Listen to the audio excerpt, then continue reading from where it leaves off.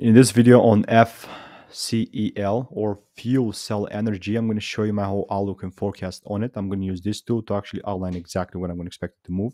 I'm going to use a very simple strategy. So uh, here's some credentials and just some testimonials for the strategy that this stuff actually works.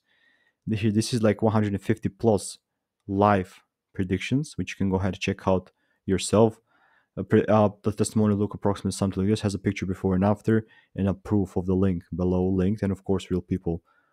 Comments and whatnot. Now that being said the first thing that i typically look at is the which i like not very much do in every single one of my videos is the performance tab.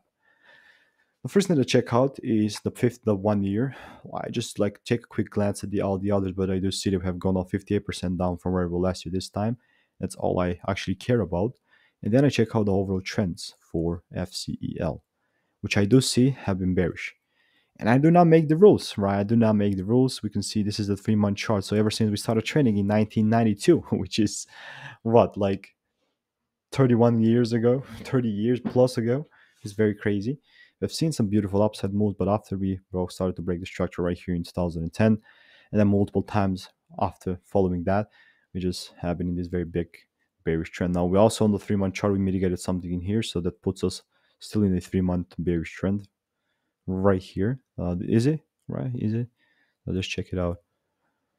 Month charts from right here. Yeah, this is still a bearish trend even on the monthly. So following the overall trends even here, at least for you to come back mitigate this month area, which we're just mitigating right now, and that's cool.